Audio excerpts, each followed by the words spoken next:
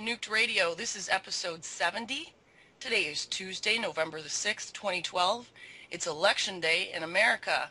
I am your host, Christina Consolo, and with me today is Jules and special guest today, Jeff Weffersen, author of the lovely nuclear blog, Rachel Carlson's of Today. There's something else that Jeff is infamous for, though, and we'll get to that story in a moment. Two big news items today. This is being reported on NOAA's Incident News. There was a wellhead release in the Gulf of Mexico at 6:40 yesterday. Sector in New Orleans contacted NOAA about a report of a wellhead releasing unknown product into the water. The location was described as the northern East Bay without precise coordinates. The release began early in the morning. The exact time is unknown, and the rate of discharge is unknown. The release is not secured yet. Overflight was scheduled. At the time of this posting, the Coast Guard had not even been to the site. An update today is stating that it is an oil spill. Now this will be somewhere in the area between the Gulf of Mexico Macondo well site and the city of New Orleans. We talked about Reed Simmons' theory, and I'm still working on getting Wikipedia to accept that as an article. Another story, though, that we needed to also make sure we talked about was what was posted on ENENews yesterday. What is going on at Daiichi? Fukushima fallout increased November 2nd through 4th, the highest in back-to-back days and months. And there's some charts posted there. So there's been a significant cesium increase. No further information is available. But how do we really know what's going on at the plant? We rely on information from TEPCO that's been manipulated and underreported we rely on cameras and photographs that by TEPCO's own emissions have been tampered with in the past. We rely on local reports, RAD readings, weather patterns, networks, all which are prone to misinterpretation. So how do we really know that when we see images of the inside of reactor number 4's spent fuel pool that it isn't reactor 5 or 6? We don't. The only way that you could really know is if you walked up to the spent fuel pool and you looked inside of it for yourself. So two weeks ago, when a blogger posted the spent fuel pool was on fire, many Fukushima followers and others became understandably alarmed. Could this be the start of a chain reaction extinction level event? After a long day, it was determined by many researchers that this article was a hoax, but how do we really know? When I found out that Jeff Weffersen was behind this post, knowing him, his dedication, his insightfulness, I knew that there had to be more to this story. And I was interested in finding out why he posted this, which led me to his blog with the following update.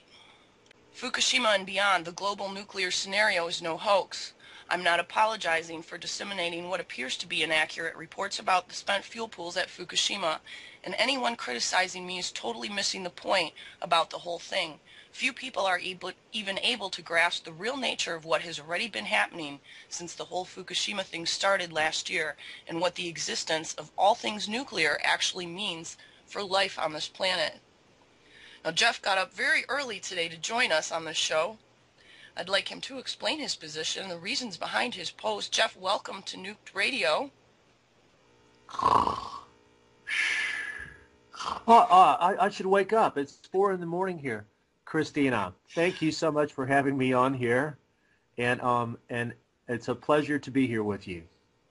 Well, before we get into this story further, you have some pretty heavy credentials, and we could probably spend the whole hour discussing them and your experience. And can you just tell us what your background and education is briefly? Well, uh, technically, I have no credentials in, in the, the, true official sense. I, I don't actually have a degree from college, but I went to college at a major science and technical university in the South.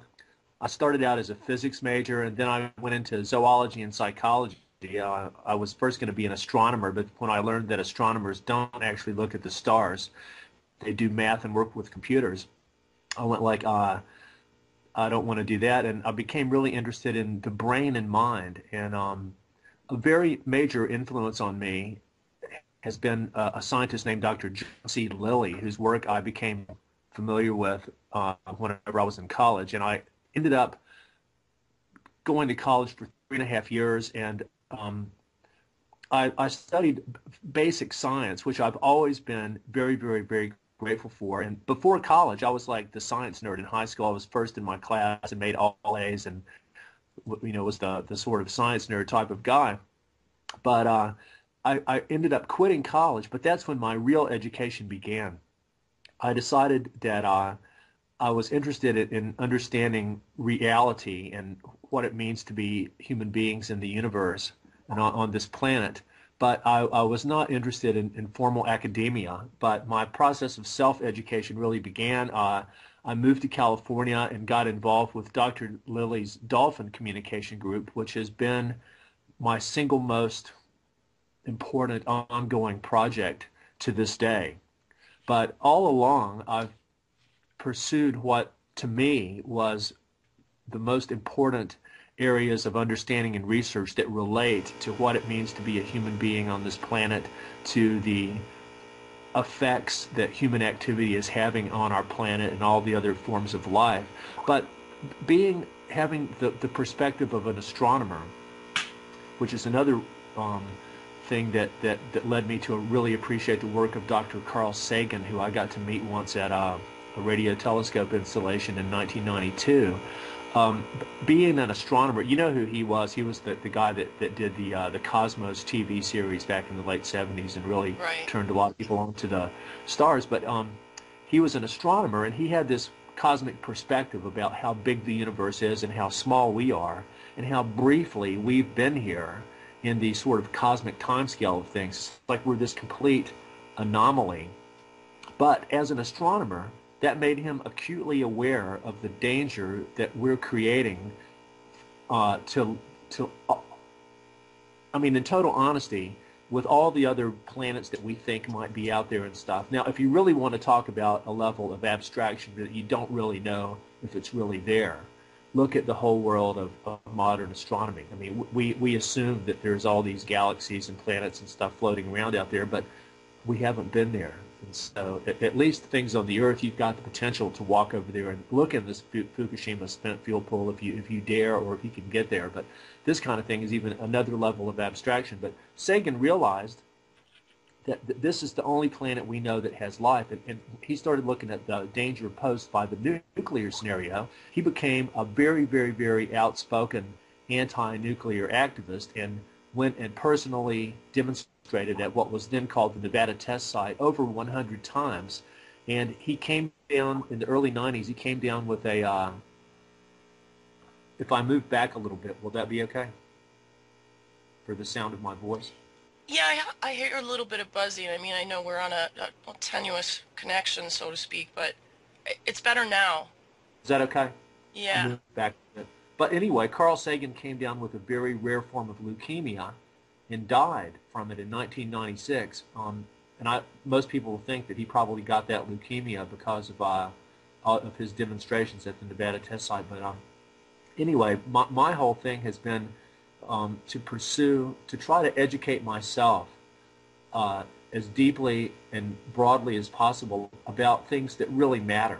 There's so many things that people concern themselves with that, that, that in the grand scheme, they don't matter at the end of the day, when your life is over and you look back and you go like, what did I do with my life? You go like, most people could go like, wow, I watched a lot of television. I drank a lot of beer. I went to a lot of parties. I drove a light year of miles. But what did I actually do? What did I actually accomplish? Um, what kind of difference did I make as a human being? So I've tried to focus on what I think is important. I've tried to always educate myself, not only through reading and you know standard forms of, of learning, but also through trying to create and establish and constantly upgrade a network of like-minded people um, that are working on areas that really matter. And so I've, I've constantly tried to actually get in touch with people around the world that are doing research whose work means a lot to me and who I think are honest, credible people that, that don't have a hidden agenda or that don't work for some kind of institution. Um, some of them might be academic people, but a lot of them are independent researchers. For example, um, Leuren Moret, who you know pretty well, um, she's someone I have an immense amount of respect for in terms of, of what she's doing. but that that's basically my background. So I, I don't have any formal credentials, but in a way that's really good because I've probably got, I mean, honest to God, I've probably got the equivalent knowledge that's more meaningful than probably the PhD level in several different areas. Um, for example, my, my work in uh, the psychology of mass communication um, led to me creating a website called regainyourbrain.org and the blogspot by the same name. It's all about the, the nature of what we think of as reality, how we get our information upon which we build our personal reality, and the, the nature of, of what I call second order information, which is anything that, that we take to be true that is not from the domain of our own personal experience, which is just about everything um, including Fukushima. Like, I mean, how many people have ever actually seen an atomic bomb explosion? How many people have ever actually seen Obama in person? Or, I mean, it, it, you can see my point. If, if you haven't been there, seen there, seen it, and done it yourself, you're taking it on somebody's word. Like all the stuff in the Bible, for example. The whole, and, like, everything. Like all the stuff going on at Fukushima. Everything. And, I mean, Fukushima I, was not your your first adventure either in a nuclear disaster. You had kind of an interesting story you shared with me about what you were doing when Chernobyl happened. Should I should I tell that really briefly? Sure.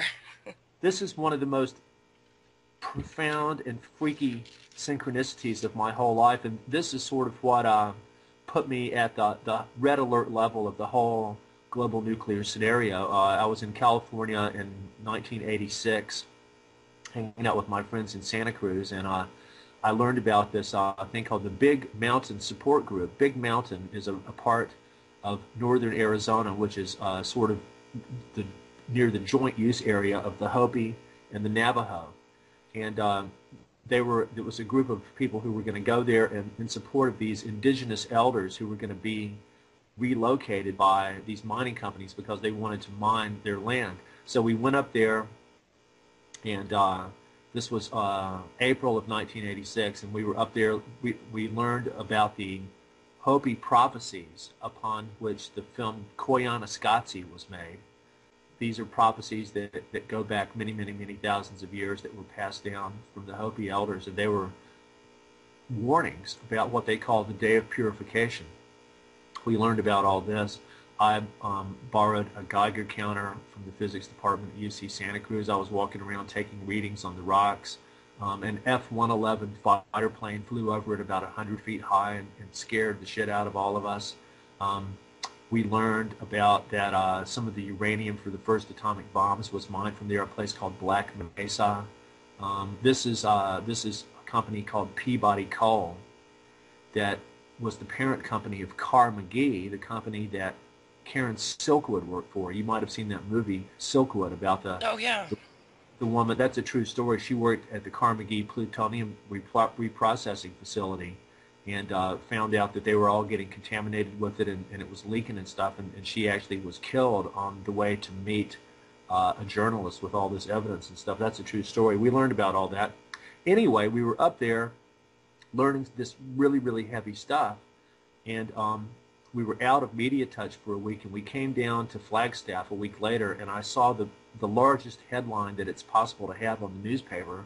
The Chernobyl meltdown had happened while we were up there walking around learning about all this stuff. And I went, oh my God, that is just one of the freakiest synchronicities I've ever experienced. And ever since then, it's like been, been one of the, a big part of my mission as a human being and someone with enough scientific background to sort of understand some of this stuff um, to keep the global nuclear scenario on the radar of public consciousness. And uh, a lot of people just don't want to hear about it.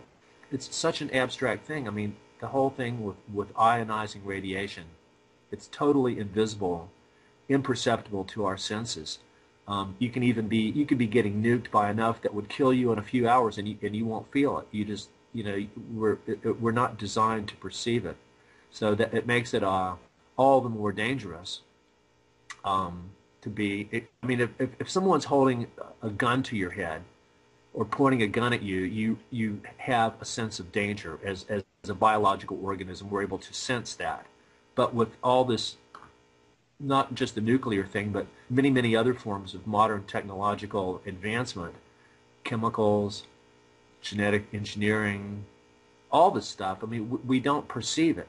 We're, we're being affected by it, but we, we don't perceive it. And uh, Sagan noted that it's a great irony of the day that, that almost everybody on the planet is immensely affected by all many, many forms of advanced technology, yet the vast majority of people don't even have the most rudimentary scientific understanding in order to make sense out of any of this or for example to understand why it's dangerous why ionizing radiation is dangerous to life as we know it. And uh, not that anyone fully understands but but the people going back to the manhattan project and before they've known all along exactly how dangerous it is well, we we've been trying to understand, and we've been trying to recruit as many smart people along the way to help us with this. And the hope is that you know one of these days somebody who who does have a, a position of power or authority will get into this discussion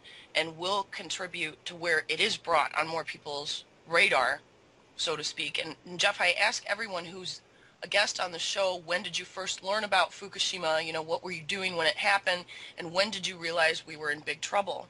But knowing you now and knowing your work, I think I already know how you'll answer that. We've been in trouble since 1945. Well, even before. But yes, I think that um, that's another. Let me just go back and, and, and clear this before we move on. That that whole thing from a couple of weeks ago um, it was it was not a hoax. Hoax implies that it was deliberate or that there was an element of malice to it or anything like that. That's not the case at all. At least not not from what not anything that I understand. I didn't actually make this story up. Uh, I, I, I basically um, there's a guy on Facebook who you know. His name is Troy Livingston, and he has a Facebook page under his name, and he, he he's been a pretty good source of uh, of reality based I think, reasonably credible information about Fukushima um, ever since it happened. And so on his page one day, I was just sort of looking and, and I saw this guy named Michael Eckstein. And he was talking about that he lived near Fukushima, that he that he had seen smoke coming out and that he thought that the spent fuel pools were on fire and stuff like that. And so I, I messaged him and he started telling me all this stuff about how the spent fuel pools were on fire and that there was a, um, that, that, people were free, that, that people were being told to stay in their house and and all this stuff and and uh, I started I tried to um, to verify with Troy and Troy said yeah that there was some kind of fire but he thought it was a grass fire or something like that and um but this was unfolding pretty quickly and and I, I somehow trusted this guy because he he apparently had been a friend of Troy's for a long time and I went like I I ran it over in my mind and I went like you know if this dude's a, a, an eyewitness sitting there watching this shit happen right now. If this is really real, the people should know about it as quickly as possible because they're, you know, that that was my line of reasoning, and it was probably, I probably acted a little too quickly, and so, uh, and, and then I, I emailed Michael several times. I've got all these emails I can show you, and he started saying stuff like, uh, um, oh yeah, there's a mass panic at the airport, and everybody's trying to buy buy groceries and stuff like that, and, and so that that's when I should have really paused before I passed it all on. But no, I went like, well, you know, better safe than sorry. That's what I thought. Better safe than sorry. So I, I sent out that, that first message. And um, but it was not it was not a hoax. It was uh, it, it was inaccurate information. Well, it may not even be inaccurate. Now you've got to listen to this. I've heard from many people since then, people that were there, and apparently, even as of yesterday, I learned that around that time there were plumes of smoke coming out of some of the reactors that people saw. And then there was also a massive uh, radiation spike that was on about the uh, uh, a couple of days before. I, I, can't remember the exact date of this. I think it was like the 22nd or something like that of October. But the, the bottom line is we don't really know. I mean, I, I think that Michael Eckstein greatly over-exaggerated all that stuff, and I, I don't know this dude um, Troy reckons that he's somebody that used to be credible, that his maybe his brain's gone a little kooky from living near Fukushima for too long, and I don't think I don't know I, I don't think he was deliberately trying to create a big hoax or anything. But then but then later on when I tried to, to pressure him to tell me exactly what was going on, he uh, then he made up some story that someone had, had hacked into his Facebook account and sent sent some of those messages somebody that somebody else had done it. So I think that the dude's just a little kooky. But the bottom line is none of us really know what's going on there. Does apparently Alex Jones and Infowars made a big deal out of this hoax bullshit, and and uh, I went like, dude, so you went there yourself and looked in there, and that's how you know that there was no fire. But but no, Alex Jones has never been to Fukushima, and all these people we're all totally reliant on information many orders of magnitude removed from our own personal experience. All of our reality is like that, um, and it, it's really actually quite a dangerous and mentally unhealthy position for us all to be in. That we take so much of this second order information and we act as if it's true without even I mean you've got to sort of act as if a lot of it's true but but you can you can question it. You can question this process of how we get all this information. But another really big thing to be aware of is that this process that we're talking about of how reliant we are on information that, that's not from our own life the powers that be that want to control us have been have been become masters of manipulating this process for many, many, many decades. This is probably the biggest weapon system in use is that of the control of information, the control of communication, um, what you might loosely call a whole paradigm of psychological warfare based on not only manipulating language, but manipulating what other people think of as reality, um, preying on people's gullibility, the, the tendency of the public to trust people in authority, and they really shouldn't. Um, it's a it's a science that I've gone into great detail to describe in my Regain Your Brain website. And this whole thing, ever since Fukushima, has been um, a textbook example of every propaganda and public relations trick that can be rolled out to, to use. Um, Ace Hoffman, who is a really brilliant uh, nuclear awareness person, uh, he, he makes the point in his brilliant book called The Code Killers, which you can download for free from his site, acehoffman.org. Um, he says that the, the biggest thing about the whole nuclear industry is the amount of lies that have gone along with it from day one. Uh, I always thought it was very interesting that, uh, and, and what I'm telling you now is documented in a brilliant book. It's called The Perfect Machine television in the nuclear age by a woman named Joyce Nelson. I think she's Canadian. She documents how the company called General Electric simultaneously came out with the earliest nuclear reactors. They were also making the uh, atomic weapons and stuff.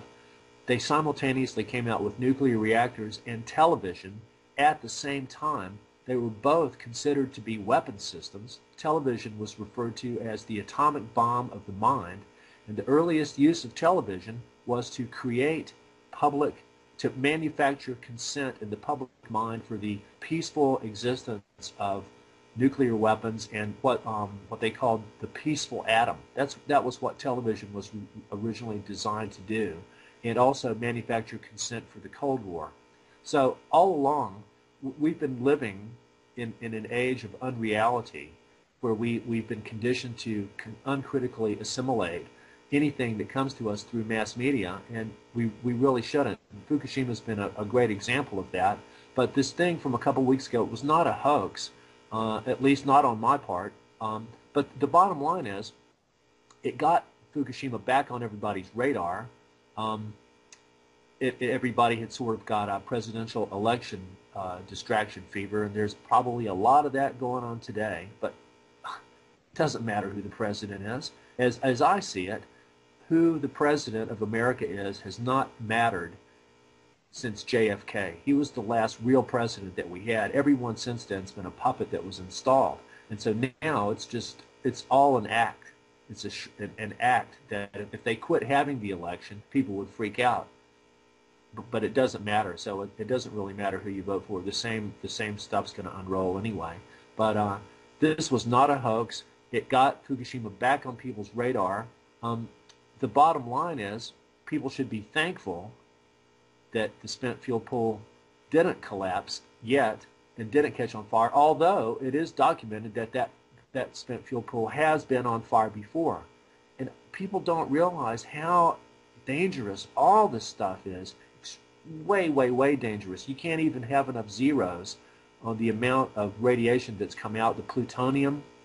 Um, the, the, the bottom line is the real red alert level with Fukushima happened in the very first two or three days when reactor 3 exploded and sent these MOX fuel rods three kilometers away, fragments of, of, of fuel rods that, that might have been spent fuel rods or reactor rods. Um, even Arnie Gundersen talks about this. Um, this is we're talking about a massive, massive, massive release of plutonium that's never happened before. It didn't happen with Chernobyl. Chernobyl did not have um, MOX fuel, although any spent fuel rods do have plutonium that's created in there. So uh, the, the red alert, if you want to call it a mass extinction level event, that happened the first week of Fukushima. Also, I think, and again, this this is you, you don't know without going there, um, and you certainly can't trust all the, the TEPCO cameras and all this stuff. Um, but logically, to me, logic is how you have to approach a lot of this stuff purely logically, say like with building number three, if the explosion, which Chris Busby, who is another extremely trustworthy, credible source of information, uh, I believe he's a physical chemist by profession, who's a, mm-hmm. a, a nuclear guy, very, very good person. He's my friend on Facebook. He, he observed back then that that explosion was not a hydrogen explosion. It was actually an atomic explosion. And so when you look at, at the uh, the design of these Mark IV reactors, which were designed by General Electric, um, they put the spent fuel pool on top of the reactor. I mean, why would they do that? It's on top of the reactor. And so, look, if this reactor blew up in an atomic explosion so powerful that it shot fuel rods three kilometers away, what's the probability that that spent fuel pool is still sitting there with water in it? I'd say zero. I mean, I've, I've seen article. Another good source of information is uh, ENENews, you know, ene.com news. They're they're good. Um, they have a lot of good stuff. But but I mean, I can show you articles where they're talking about all these Japanese scientists are saying that, that the spent fuel pool blew up and, and, and it shattered all these rods and stuff. And see that right there, Ace Hoffman will tell you, a spent fuel pool accident is astronomically more dangerous than a meltdown. But with Fukushima, we've got many, many meltdowns. Probably, I mean, at least three or four, maybe six. I mean, we, we just don't know. We don't know. When you look at how many reactors are there, um, what the possibilities are.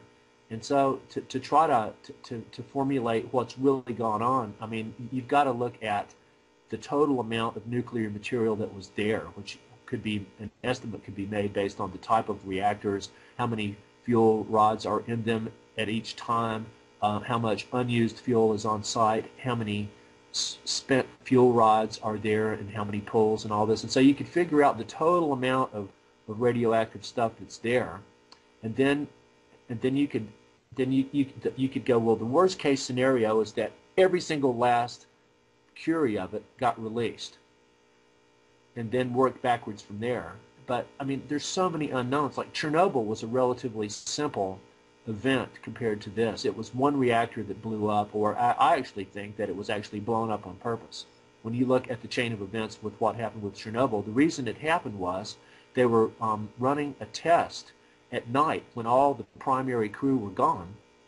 And what happened was there was a, a loss at, at this critical moment when they were running this test. The communication line dropped out between the guy in the control room and the guy at the reactor, and that led to some kind of confusion and that, that's what actually created the whole thing. You know, I interviewed Chris Busby a couple months ago, and he actually brought that up, that he felt that Chernobyl might have been done on purpose. When I asked him about whether or not he thought Fukushima was done on purpose.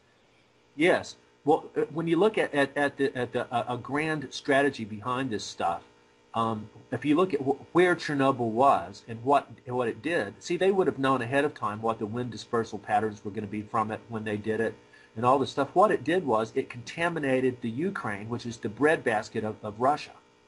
It was the single biggest way. See, I, I look at this stuff like Leuren Moret sort of got me thinking in this kind of way, but uh, th- these these um, it's a form of, of nuclear war that's being waged but without missiles and stuff. It's actually uh, I think that these things were engineered in order to to um, it's part of a, a, a large ongoing uh, agenda to depopulate the world through the dispersal of these radioactive compounds. That's what Leuren Moret said. And when you go back to what she um, she first told me about, it's called the Groves. Groves Memorandum. Leslie Groves was the director of the Manhattan Project. There's a, a, a memorandum where these scientists recommend that they can that, that um, all this nuclear waste is going to be being created from these reactors and shit. And they go like, well, why don't we just take it and spread it like cow manure on the field, and that'll permanently contaminate everybody's land.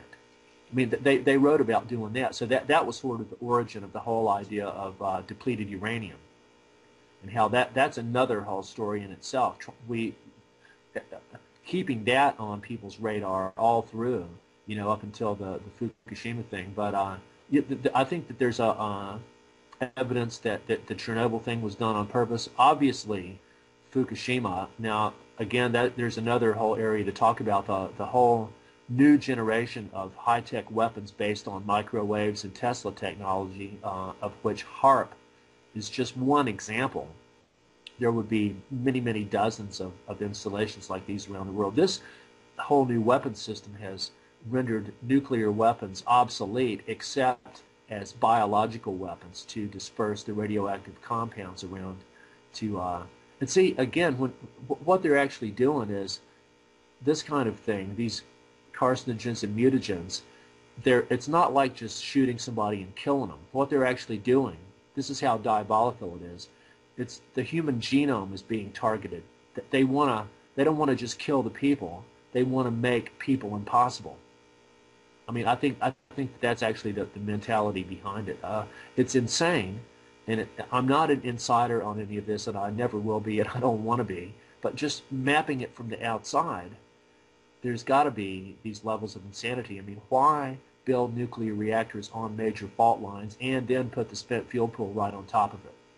And then when you look at how many reactors there actually are in the world, um, the 400 and something figure is probably less than half of what there really is. Uh, I'm always making it a point. I mean, a lot of this is stuff. I'm explain explain that for people who don't know. What? Of where all the other nuclear reactors well, are.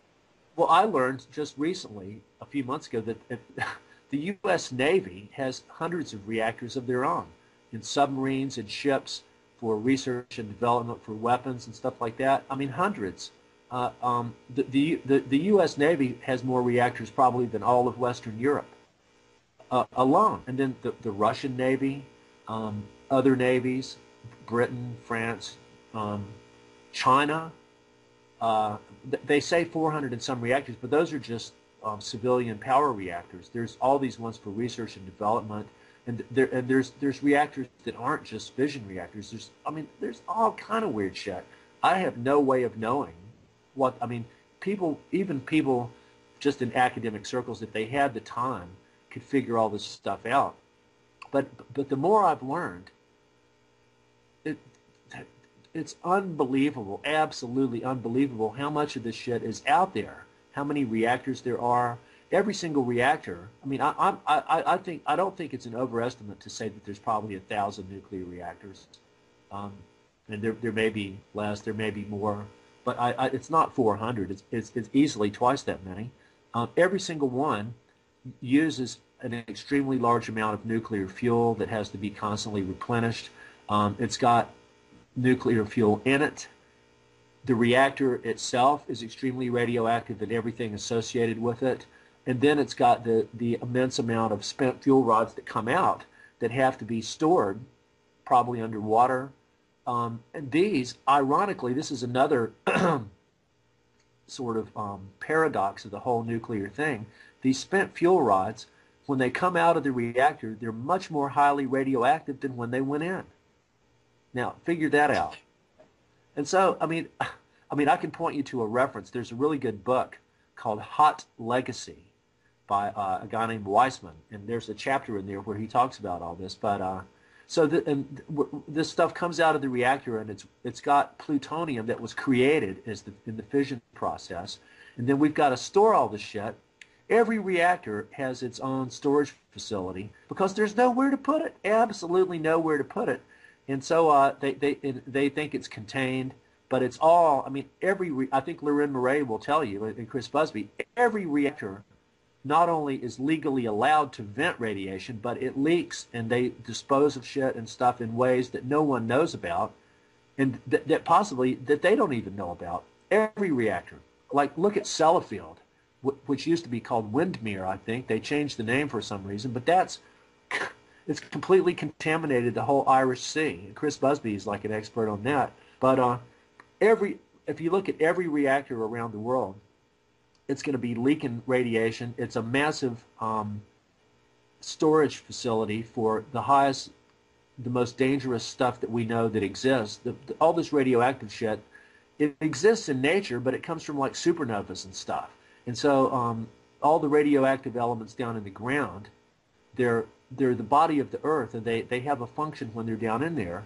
And uranium, I mean, it's natural, and there's trace elements of uranium in topsoil everywhere around the world, but at minuscule levels, and this is natural uranium. So th- that's, see, you can't say radiation is bad because it's not. And then again, radiation is a very complex thing. You've got ionizing radiation, which is what we have from nuclear stuff, of which there's several different kinds, alpha, beta, gamma decay. But then there's non-ionizing radiation, which is not so energetic. But radiation, the electromagnetic radiation from the sun, without that, we wouldn't exist. I mean, that's really what we're made of. We're sort of like condensed light that, that's actually slowed down and crystallized. And that, that's what physical matter is and, and uh, life and stuff like that. Plants. Plants are, to me, it may be possible that plants are actually a higher form of life than animals. They're much older they're actually autotrophic. Plants are able to actually ingest sunlight and in con- conjunction with molecules from the soil and water, they're able to manufacture their own food. We can't do that. We have to eat something else. We're heterotrophs. And I, I think that we've got it backwards. I think that, that, that plants may be higher, a higher form of life than us because they're, they're, they're able to, uh, they have a, a, a much more uh, harmonious relationship with light. But light is a form of radiation. So without, you can't say radiation's bad, but it's when we start uh, digging all this stuff out of the ground, we mobilize it, we concentrate it, and we, we do all this stuff to it, that's when it becomes dangerous. And that, uh, that um, so I think that there's over probably a thousand reactors. Every one of them probably has spent fuel pools, um, the reactors themselves. And, and another thing is people go like, oh yeah, well if we let's just let's let's shut it all down. Let's shut down the reactors and then we'll be okay. no way. Even if they shut them all down tomorrow, all the shit's still going to be there for millions of years. And uh, another thing is people go like, oh yeah, well let's disarm all the nuclear weapons and then we'll be safe. That's fucking bullshit too because all the radioactive shit's still going to be there. What are we going to do with it? Well, um, for a long time, we just dumped it in the ocean. in fact, 45 to 50 years ago, that was an acceptable practice. But now a lot of those barrels and containers that this nuclear waste was put into and it was you know dumped into the ocean off El Hierro and in the Arctic Sea by Russia and I mean we even have it in the Gulf Gulf of Mexico. Those containers are all reaching their life expectancy and when people have put cameras down there divers have gone down to look at what they're doing on the ocean floor. A lot of these barrels are already open rusted yes. through this is just a few that we know about. Imagine how much shit's been dumped in the ocean that we don't know about. Imagine where do you reckon the, the Navy dumps their shit? They wouldn't put it in the ocean, would they? Well, I know they've sunk a few subs in the Atlantic. I know, but I, what I'm saying is that they would obviously do that. How would anybody know? I mean, the amount of stuff that's gone into the ocean, the ocean's been treated like a giant sewer for hundreds of years, and people, it's just so big. They go like, oh, even scientists now like this this moron named Ken Buesseler that works for Woods Hole. Woods Hole is a subsidiary of the U.S. Navy, just like Scripps Institute, just like the NOAA, the National Oceanographic and Atmospheric Administration, uh, the National Marine Fishery Service. These are organizations that are owned and controlled by the U.S. Navy. They, there's NOAA is supposed to provide oversight and grant the Navy environmental impact statements and all this stuff. But they, you know, right now they're just giving the Navy, NOAA is giving the Navy an official permit to legally kill tens of millions of marine mammals. So what does that tell you? Um, but but the Navy's the biggest nuclear entity on the planet. Is the U.S. Navy also run the HAARP program? They do. They're, they're the, the primary owner and operator of it, along with the Air Force. Um, they, if you start looking at the amount of research that the Office of Naval Research does uh, towards these advanced weapon systems and stuff, I mean, I've just looked into it a little bit. It's absolutely fucking mind blowing the stuff that they're working on. They, they because they've got an infinite amount of money, like probably every university on the planet has military has contracts with the Pentagon and stuff like that. But the Navy, the Navy is involved in all the shit. They're the uh, they're the primary owner operator of HAARP, but but in, in, in involved in uh, the, the development of weapon systems that are way beyond that. Um, they also control what a lot of people would agree is at, at least between 90 and 98 percent of all marine biology research on the planet is people working for the Navy.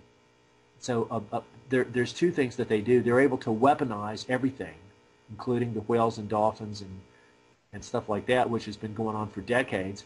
But they also, uh, when it comes time for the, a, a lot of it's public relations. All these, there's been a whole rash of absolute bullshit quasi pseudo-scientific stuff coming out lately about the whales and dolphins from all these people that work for the Navy and stuff like that. And it's, ab- oh my God, it's just absolutely sick. So, um, and the Navy's just one aspect of the U.S. military, but um, it's pretty much, I've got to say this, that um, a lot of this stuff, people go like, oh, oh, oh, that's just some conspiracy theory. And uh, I was on a, a radio show a few months ago called Vinnie Eastwood, and uh, the very first thing I started talking about on there was I go like, dude, do you know where what the word conspiracy really means? I go like it. Uh, it comes from the Latin word conspirare, that means to breathe together. So co-conspirators are people that are breathing together, which is all of us. Anybody that's an aerobic life form breathing oxygen, we're co-conspirators here in the web of life. But I think it, goes back to like the ancient Greeks. If you were conspiring. People were back there. They were like whispering together back in the corner, you know, about what they were going to do and stuff like that. So conspiracy theory is something that really sort of became big in the wake of 9/11, and uh, and so it's it's sort of a catch-all category for stuff that people don't want to think might really be true. But I think, uh, and, and sure, there is a lot of bullshit out there. I think that's another part of the psychological operation thing that's gone on is that, that the the powers that be that, that want to that, that, that want to fuck with what, what people think, they're sort of behind a lot of the bullshit too. They've got people that'll just spew out anything. You know, uh, I, let me just say this: there's a book called The Stargate Conspiracy.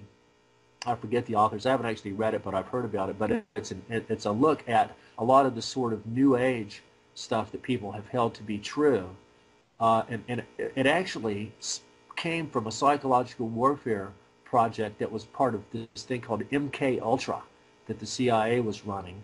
Uh, and what Which they was another to, conspiracy that was proven to be true. Absolutely. Well, we only know the tip of the iceberg. They go like, "Oh yeah, yeah, we did that, but we quit." No, no, no, no. But uh, when, I mean, just look, turn on a TV turn on a TV and tell me what you think. Is that it's like a wall of of of, uh, of toxic cess coming at you. But uh, anyway, but, but the, what they were trying to do with this certain project, they were trying to determine what the limits were of the most unbelievable bullshit that people could be induced to believe as true. Like they were just making up the most absurd shit and, and, and, and passing it off. And, and, and what they found was that there was no limit. They, they found that there was no limit to what people could be induced to accept as reality, which is really scary. And you see, I mean, oh my God! I mean, look look at at the uh, Obama presidency. Like, um, look look at the the reaction when Fukushima happened. I mean, we, we were talking yesterday about how I only learned this months later just so happened that right when right before Fukushima happened, Obama was in Brazil for two weeks, meeting with the heads of Westinghouse, General Electric, some other corporations. Ah, he was also with um, this guy named Hackett, who is the CEO of, of Anadarko Petroleum, who's a, a really weird company, an oil company based in Texas. But five of their board members have direct connections with HAARP. They were all together along with Madeleine Albright uh, in Brazil for two weeks when Fukushima happened. And uh, I think that uh, Leuren Moret was talking about how, well, they were down there. A lot of people were down there because they knew that that's when the first, the big, massive radioactive plumes from Fukushima were going to be covering North America. Yeah, it's uh, an interesting uh, time to take a vacation there, and and his kids were down there too, and his wife, Obama's Yes. kids and wife. So people go like, but Jeff, who would do this stuff? Who would release all this radiation on purpose and kill all these people? Wouldn't it would it would endanger them too, wouldn't it? And I go like, well, you'd think so. Um, and, and I'm I'm not a fan of David Icke.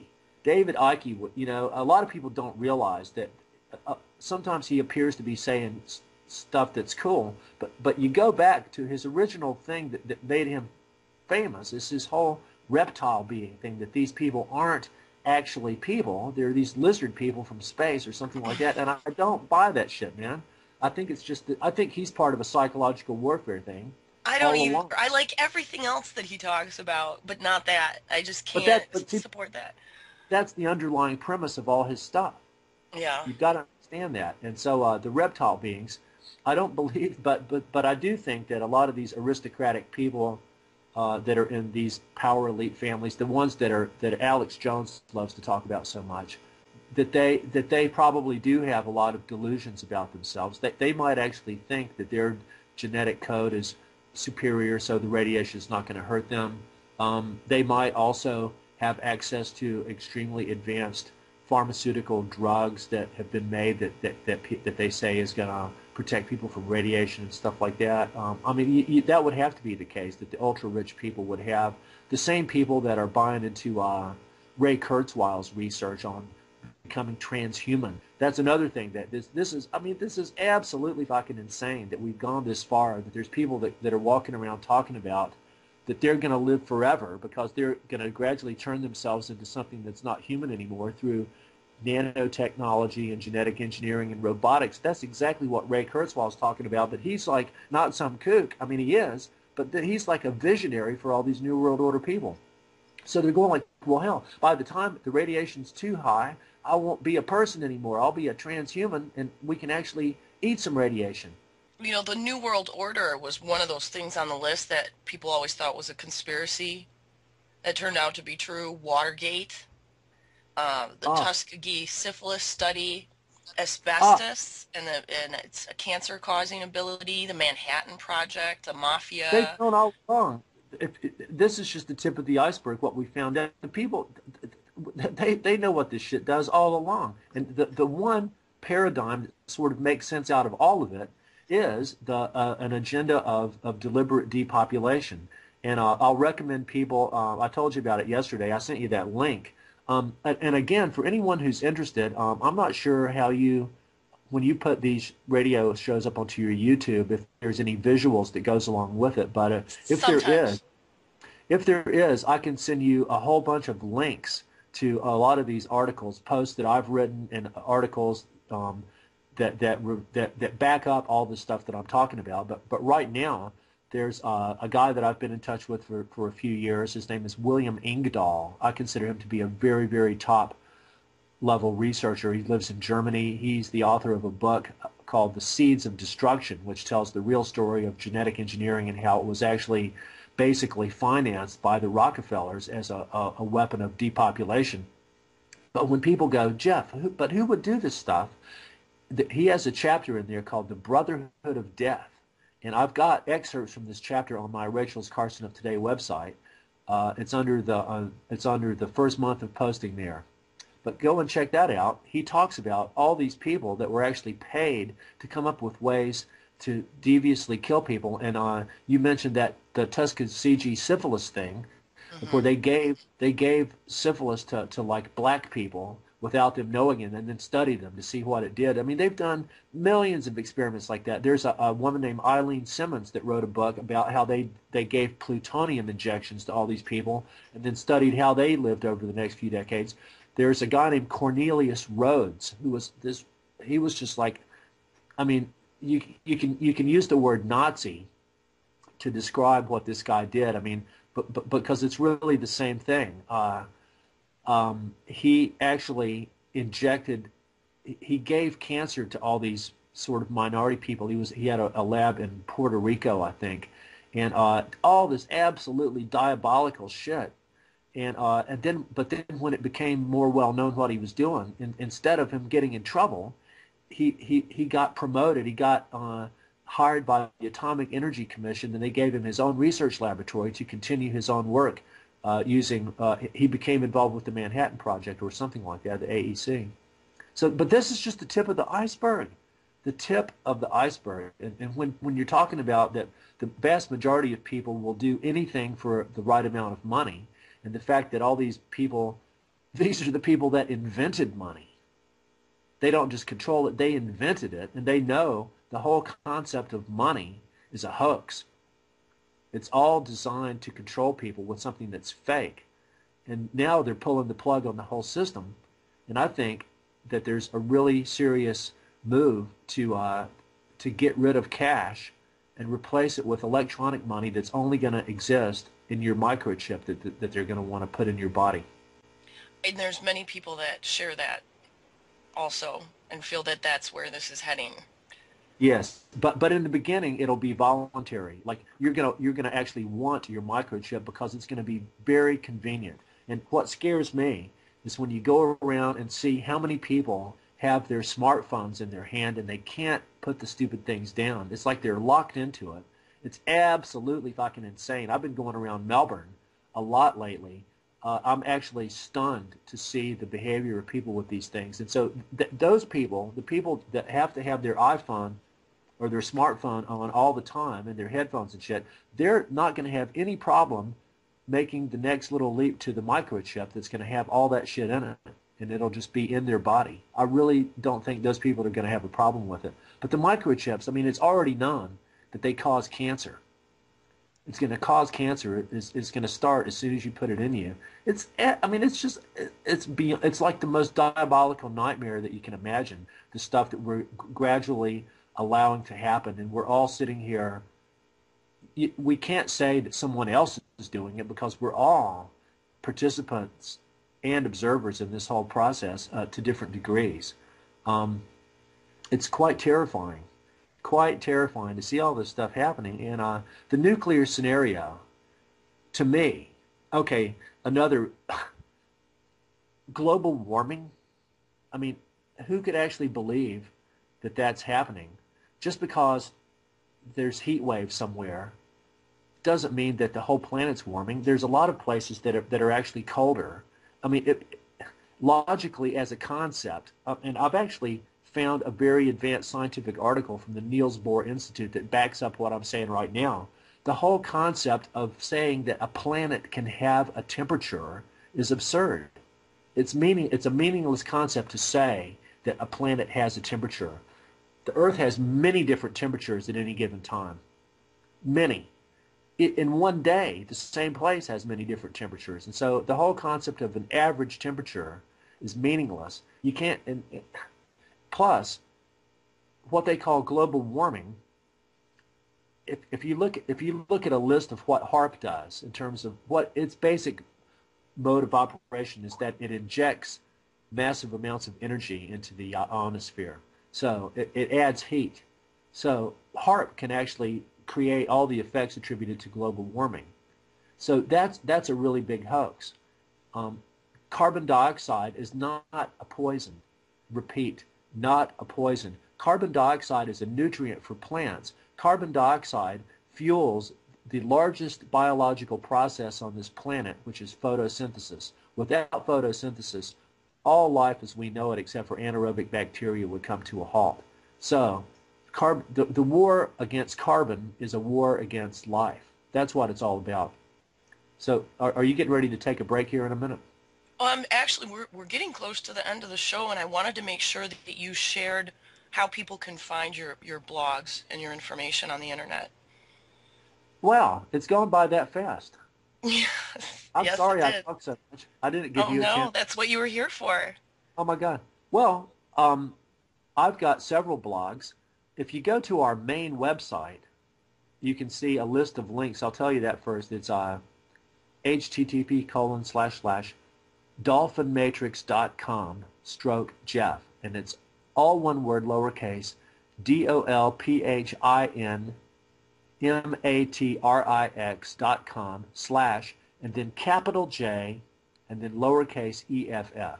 That'll take you to our main site where you can see our artwork and watch two of our films. We're working on a- major beyond film about the whales and dolphins, about who they are as fellow beings and also what the real threats to them are, which is not anyone in Japan whaling or fishing, but it's from military industrial activity like seismic testing, naval sonar, and the contamination of the Pacific Ocean by all these radionuclides from Fukushima.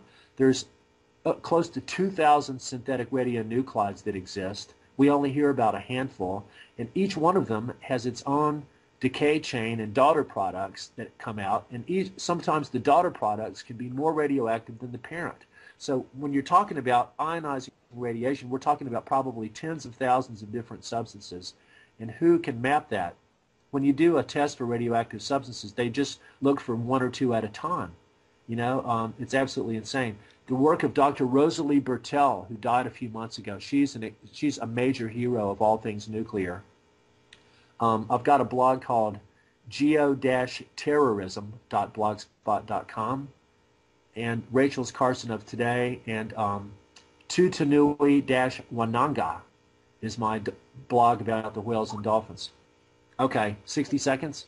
We we appreciate all the information that you shared with us today and all the work that you put in to these blogs. And I think I, I told you yesterday, the first time I came across your Rachel Carlson blog, I almost cried. It, it was just, it's, um, um, you did such a wonderful job putting this information together and showing how it can affect us as a planet and a people. Well, And- Rachel Carson said uh, she said that there she's one of my biggest heroes. She said that there is there is no safe level of a carcinogen or a mutagen, no safe level, and that genetic toxicologists say that we have to study 25 generations of people before we can even begin to say whether it's safe or not. We're only the third generation since all this stuff came into being. Well, stay on the line, Jeff, because I want to talk to you um, when the show is over. I'll be uploading a bedtime nuclear story tonight to YouTube, and I had some great people that you guys all know help me out with this and read. So until Thursday, stay safe. Keep your eyes on the nuke plants on the East Coast. We're continuing to have problems, and now Fitzpatrick has been put on that list as well. In fact, keep your eyes on all the nuke plants, Japan and everywhere. Thanks, everyone. Stay safe. Thank you.